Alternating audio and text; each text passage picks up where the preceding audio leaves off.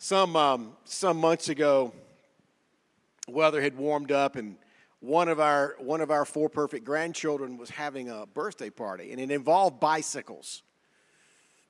And so my wife and I we we brought our bikes, and so we did did did the bike thing. Now, when you get when you haven't been on a bike for decades, the big goal is to stay on the bike.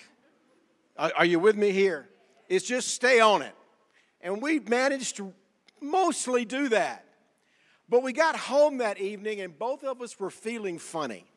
It's the best way I know how to put it. We just felt funny. Things that just muscular types of skeletal types of, and then we realized we're old. Now, I'm old, she's not. She'll never be old, all right? But we, we, we, we realize some season has changed. You with me? The season for kids and grandkids, but it's time for maybe the grands just to say, go.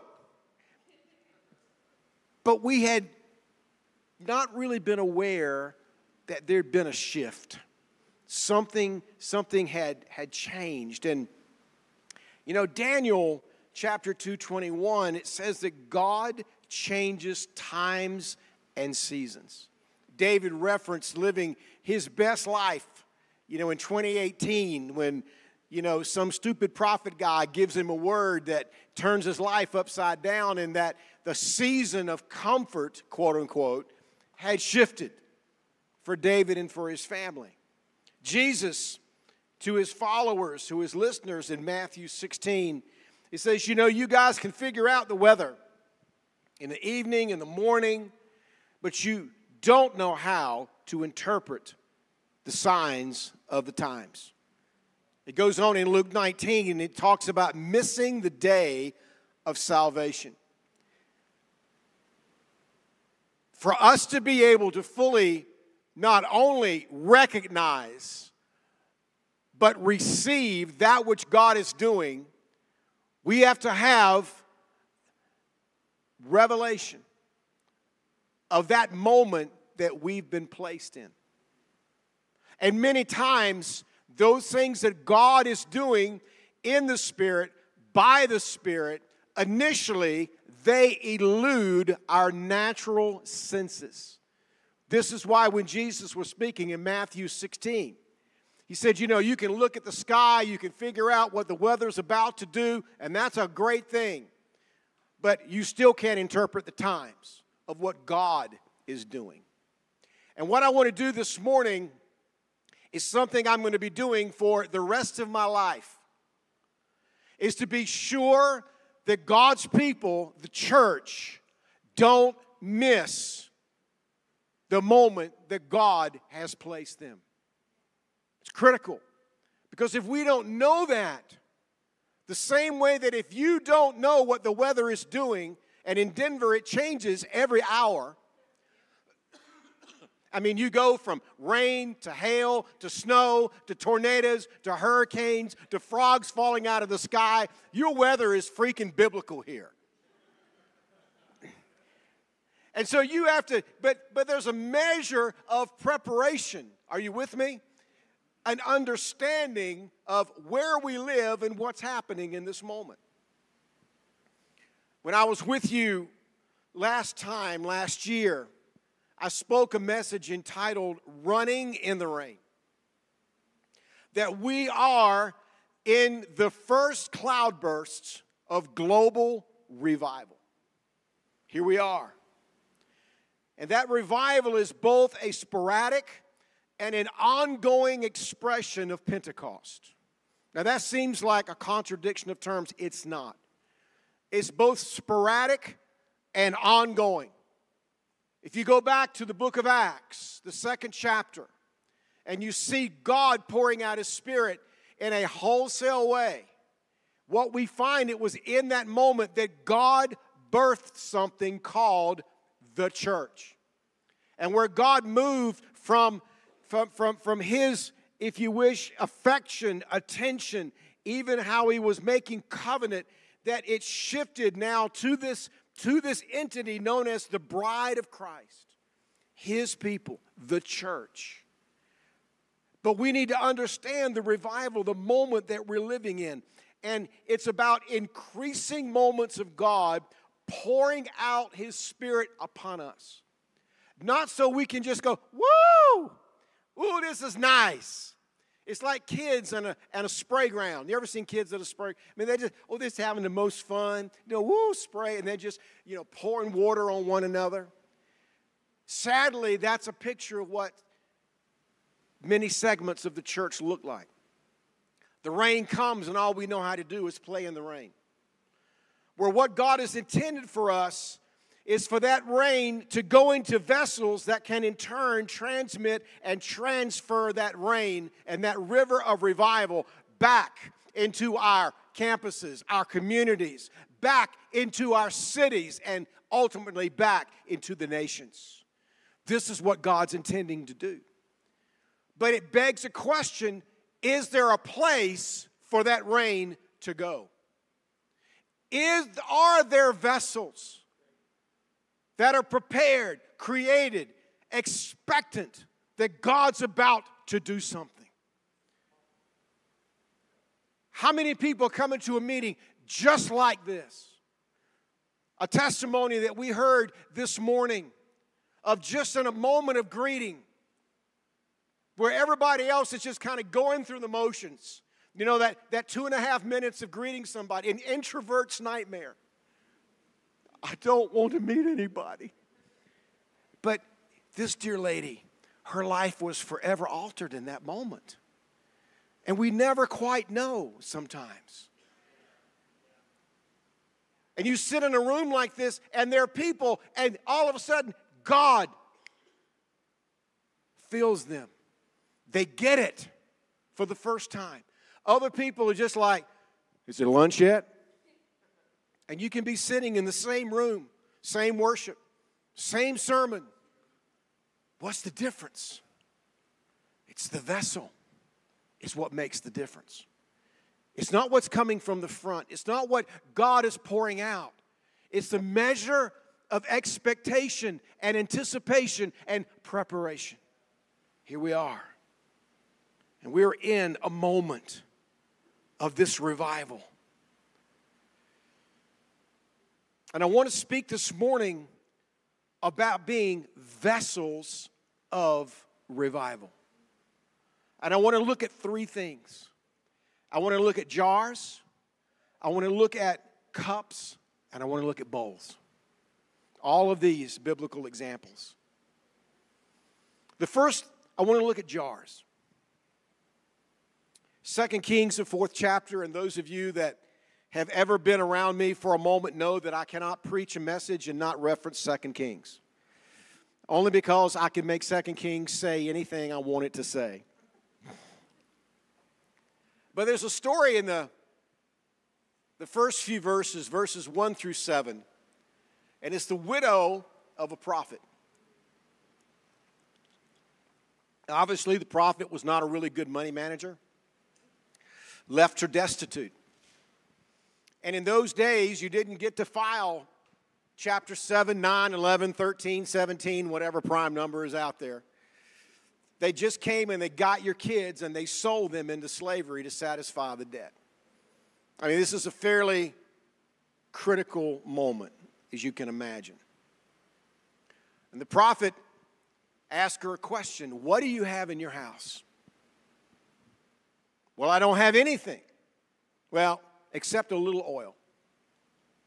And then the prophet gives her some instructions go around and ask all your neighbors for empty jars. Now, watch this. And don't ask for just a few. Now, right there, we get a foreshadowing of what God is about to do. Don't ask for just a few. How many times, as individuals, as believers, we get jammed up and all we're looking for is to get the rent paid this month?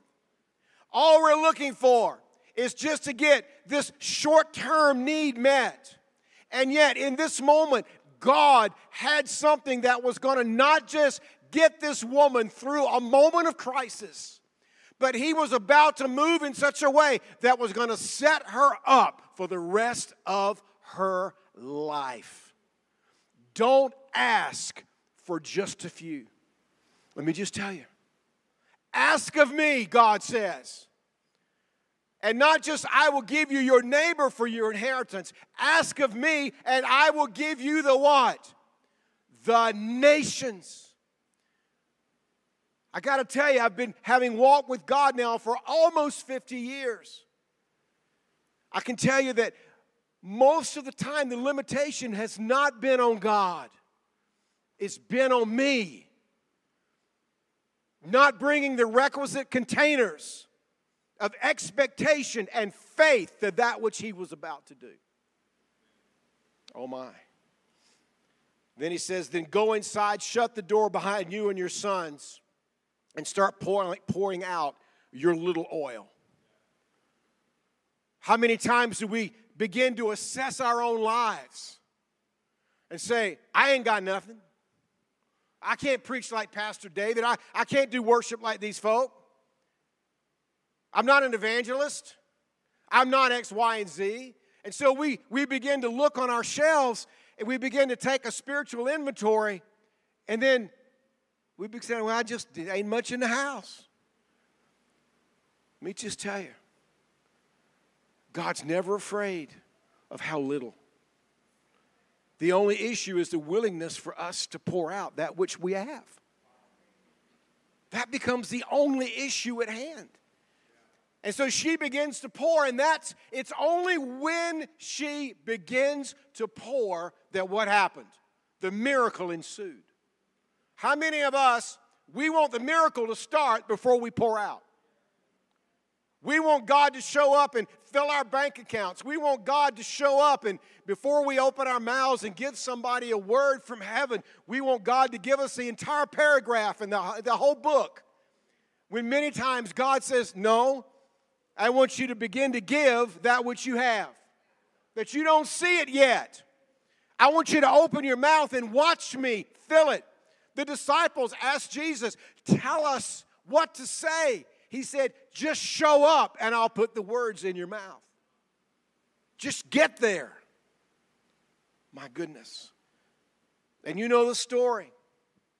As long as there were empty vessels, oil flowed. When they got full, the oil stopped. And what was the admonition? At that point, it was sell the oil, satisfy your debts. Watch this.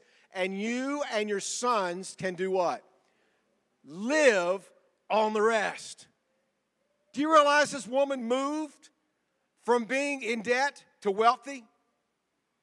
One act moved her. She was just looking to get out of the moment that had jammed her up. But God set her up for the rest of her life. And as great as this story is, do you realize that if her sons had gone and gone further out and gotten more containers, the oil would still be flowing today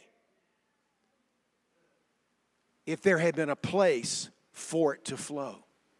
And rather than the miracle affecting just this woman and her household, it could have affected an entire city.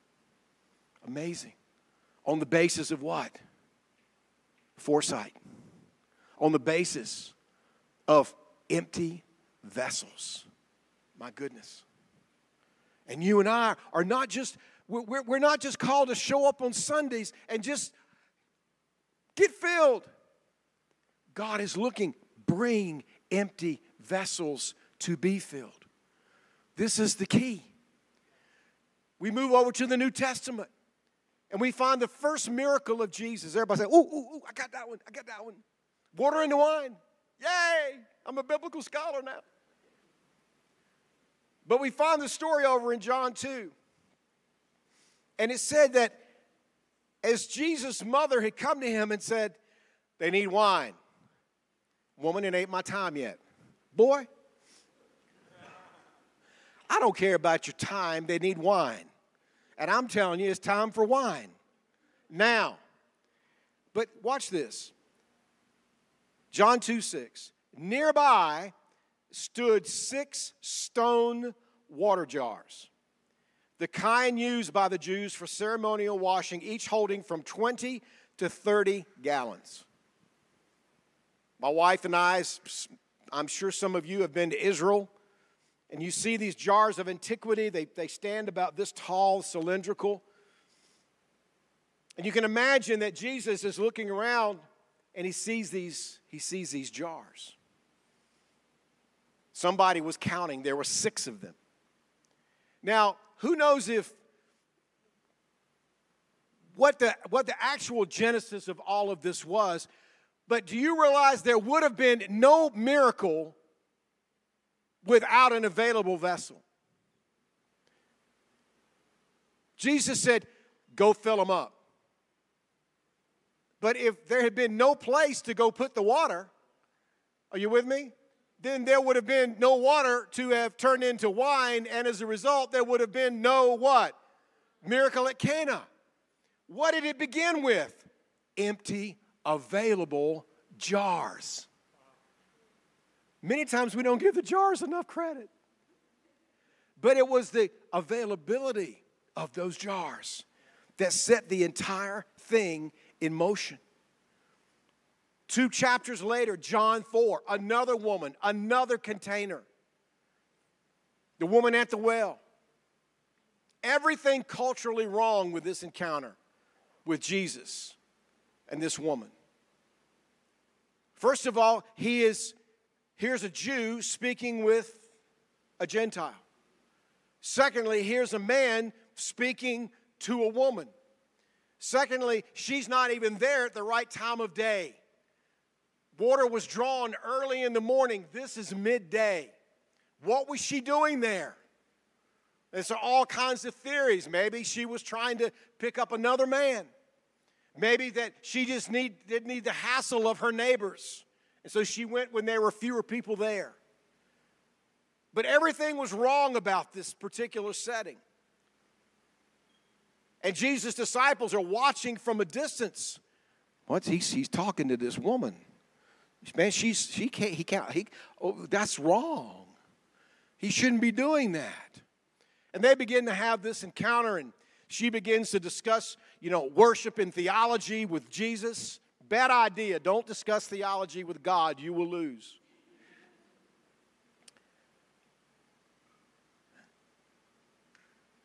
Jesus simply asked her for a drink. And then he says, I see that he, Jesus begins to talk to her and begins to prophesy to her. That, that I see that you've had many husbands, and the man that you're living with now is not your husband. Now, that's a pretty good word of knowledge right there.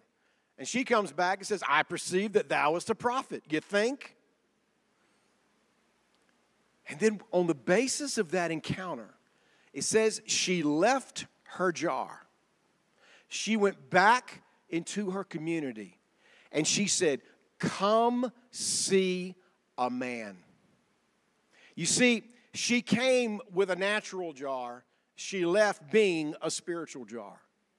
She came looking for something in the natural. Jesus gave her something far away and beyond what she could even imagine. Have you ever looked in, been, been shopping at Amazon and you kind of just get out there and say, Ooh, I didn't know they made that. I need that. Come on. Or be in a store somewhere and you say, Oh, I didn't know that. I need that now. I didn't know it existed until 10 seconds ago, but now I have to have it. She didn't even know there was anything called living water. But once Jesus introduced her to it, it's like, I want that.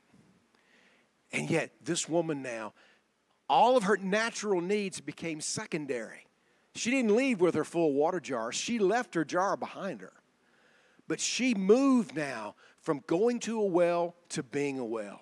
She moved from just bringing a container to being a container for the things that God had poured into her life. And talk about the most unlikely individual for God to move through, it would have been this woman. Multiple marriages, adulterer, fornicator, culturally wrong, outside, not inside. Yet this is a woman that affected her entire community. Here it is, right here. Jars. Amazing. And the question for you and I is what about our jars?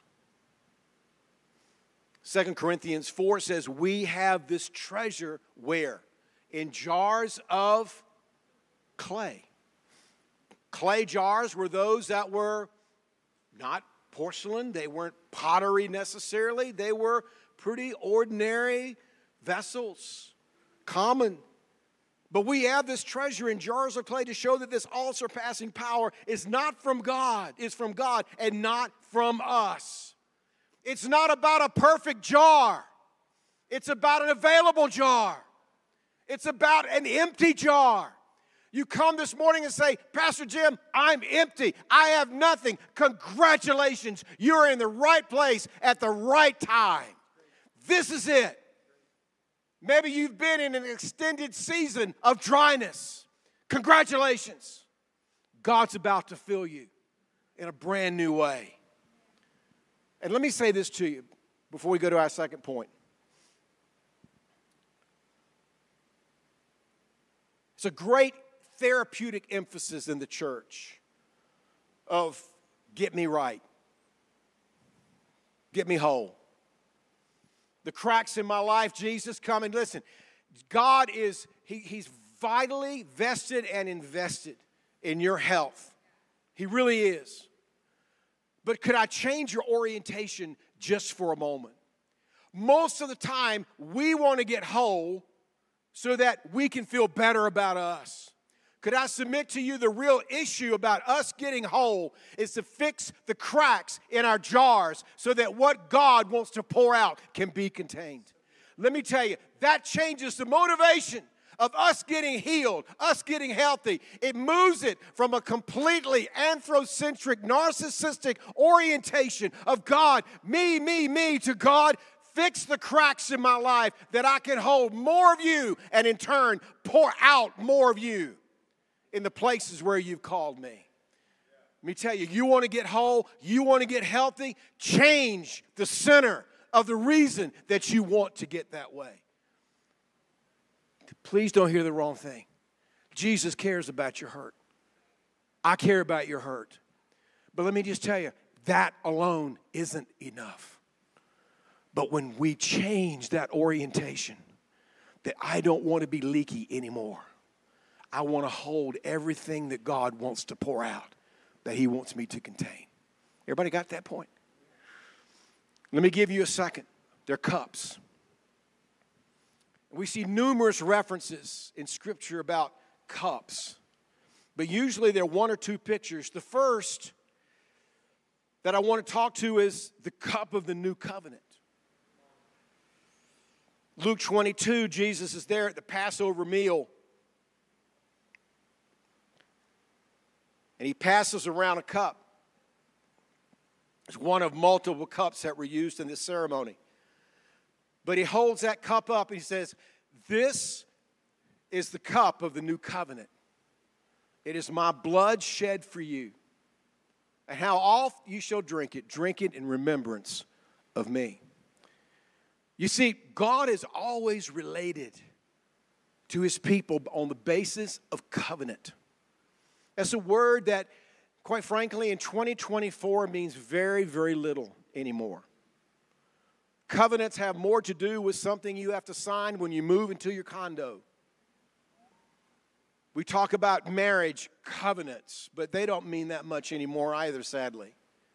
But God is always related to his people on the basis of covenant. Prior to this one, there was an old covenant, was based on rules. And we were held righteous based on our ability to keep all of those rules.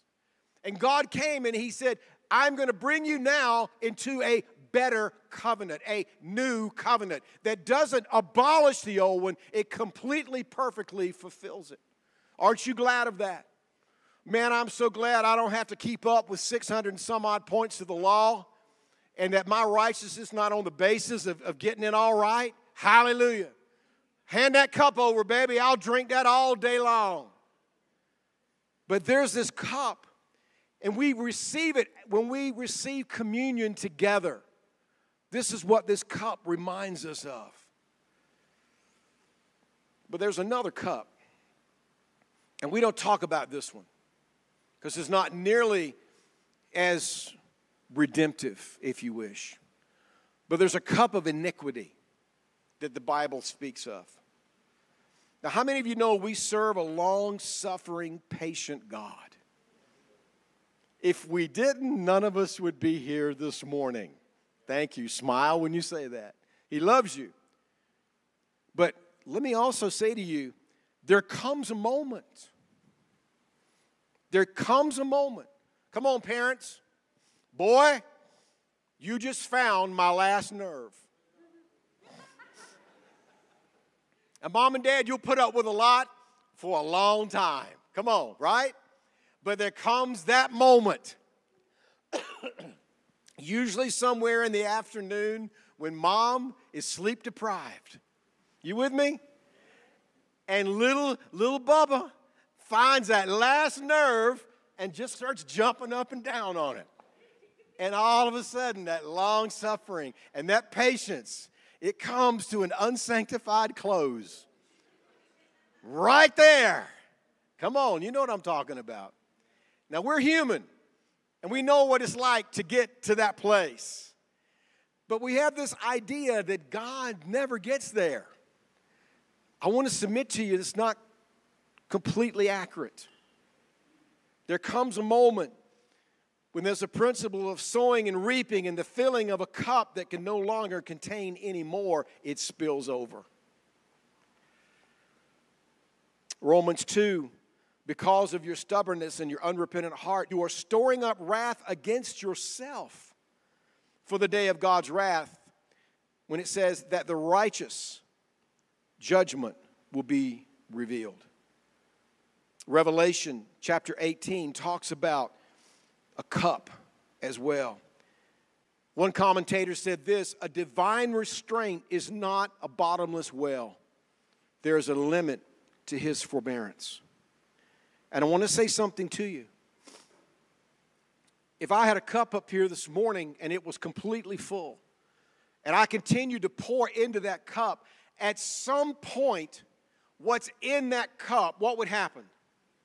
It would come out. And that would be if I did nothing to the cup.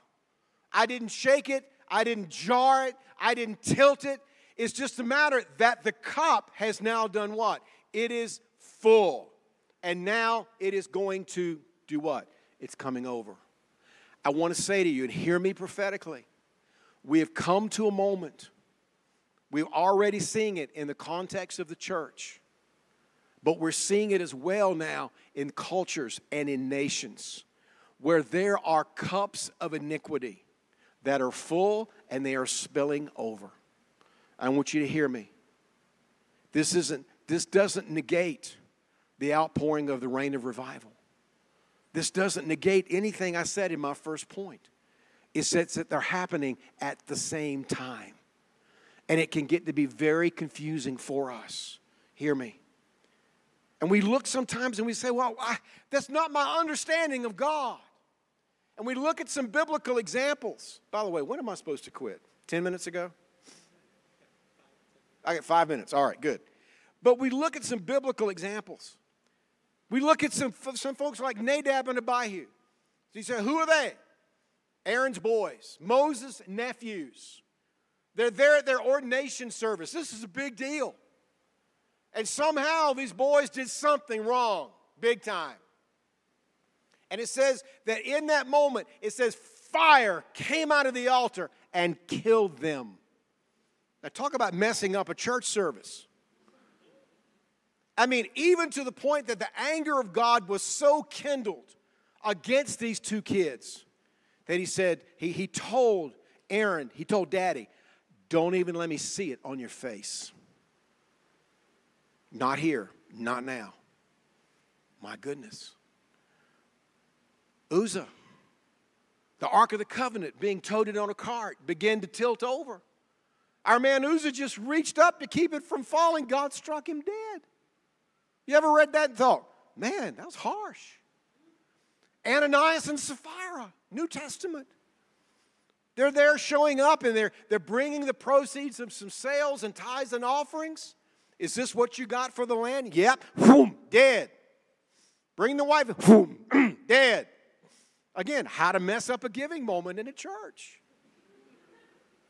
And we look at these and we're thinking, my goodness, these are kind of over the top, kind of capricious acts of God. What, but what we don't see were the things that are not recorded.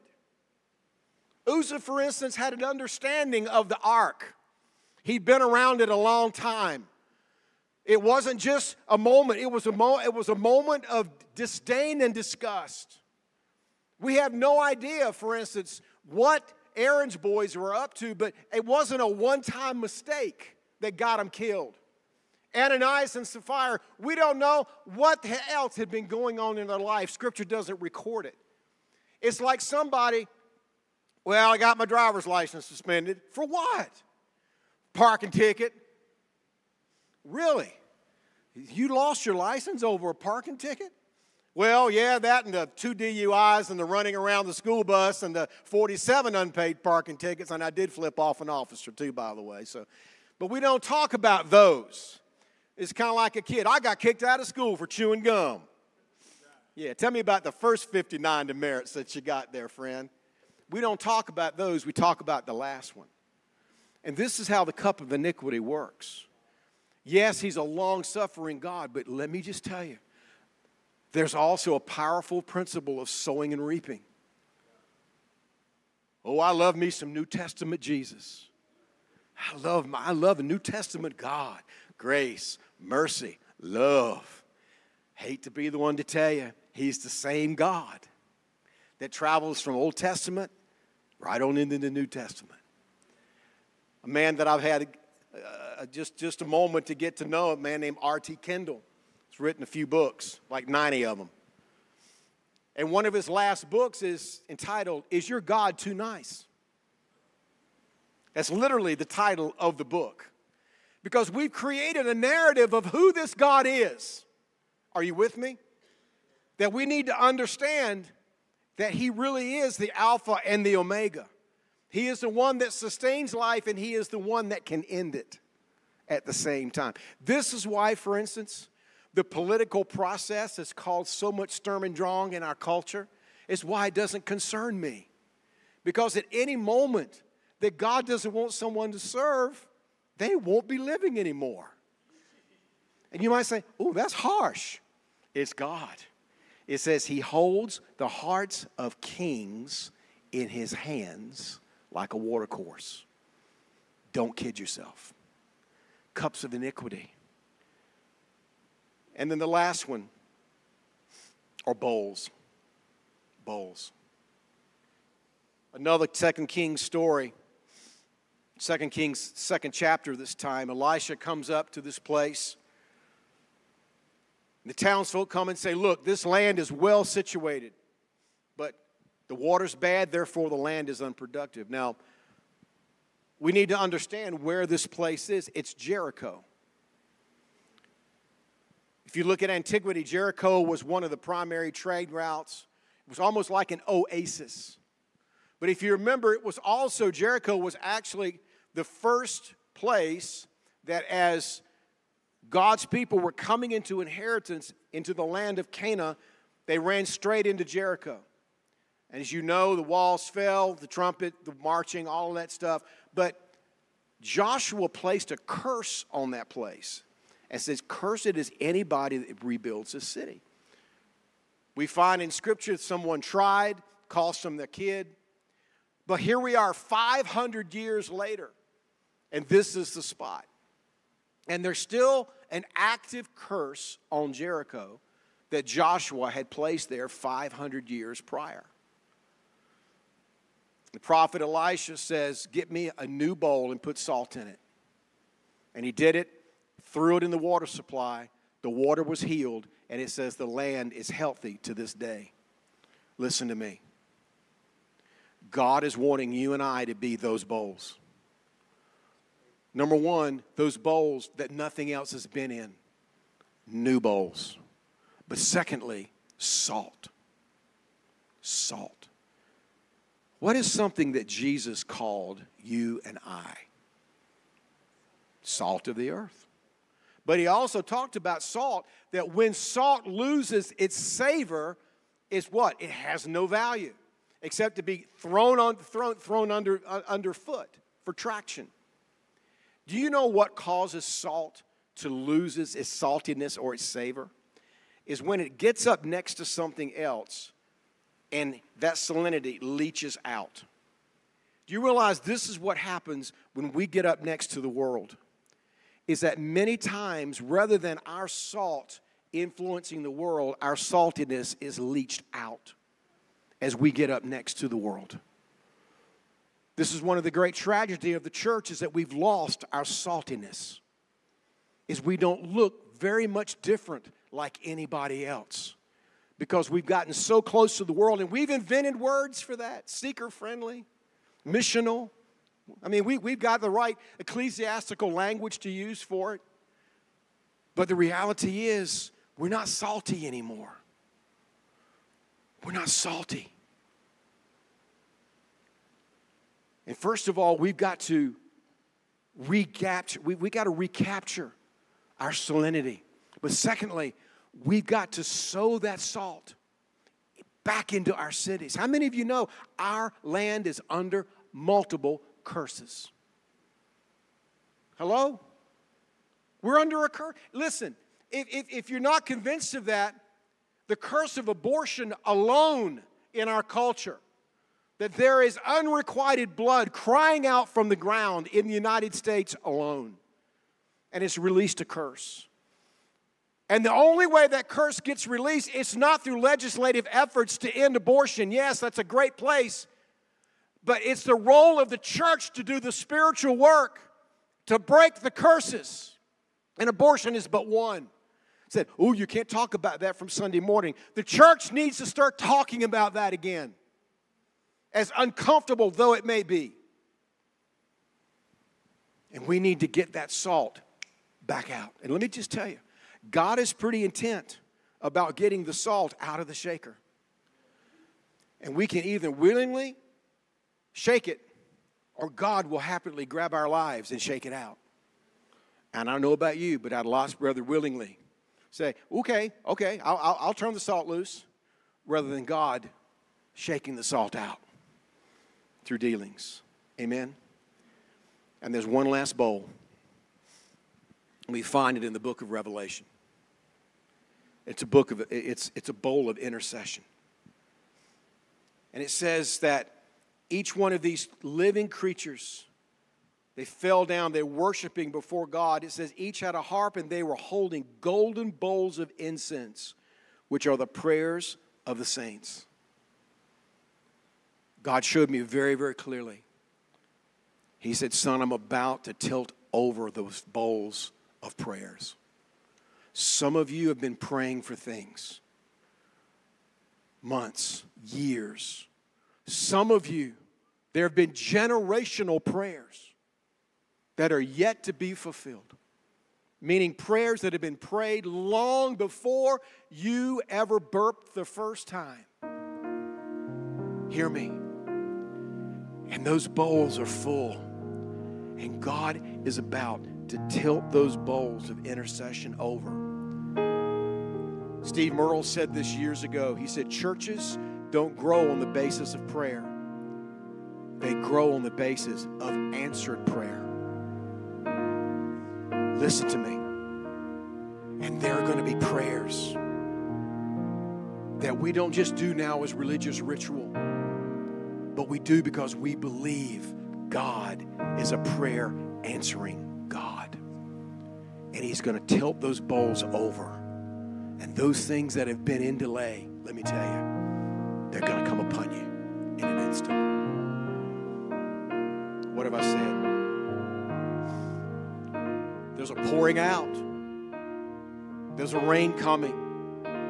But the question for you and I is into what or more especially, into whom. We are those vessels, fragile, yes. Jars of clay, yes. Full of fissures and cracks, yes. But God is wanting to make us whole that we can contain that which He's pouring out. There are concurrent cups of iniquity that are filling up and pouring over.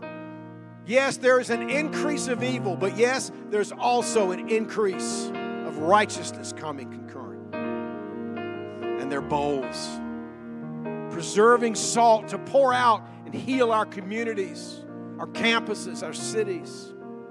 And they're bowls of intercession that God is saying yes and now to. Let's pray. Lord, let us hear something by your Spirit today. We can hear another sermon and say, that was interesting. Or we can hear it with spiritual ears. And let us be the latter. Doers, as James says, and not just hearers.